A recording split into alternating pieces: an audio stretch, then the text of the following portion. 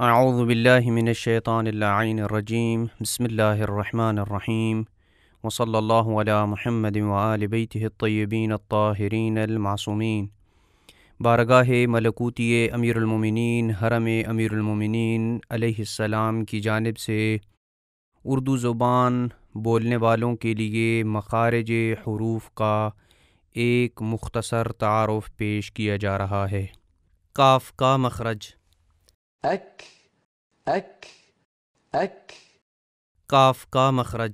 زبان کی انتہا سے ہے لیکن ساتھ تالو کا نرم اور سخت حصہ بھی یعنی جس جگہ ہڈی والا تالو اور گوشت والا تالو ملتے ہیں وہاں زبان کی انتہا کو لگائیں گے قاف کے مخرج کے قریب تو کاف ادا ہوگا۔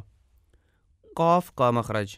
أق أق أق زبان کی انتہا اور گوشت والے نرم تالو سے قاف ادا ہوتی ہے جیسے اق الحق۔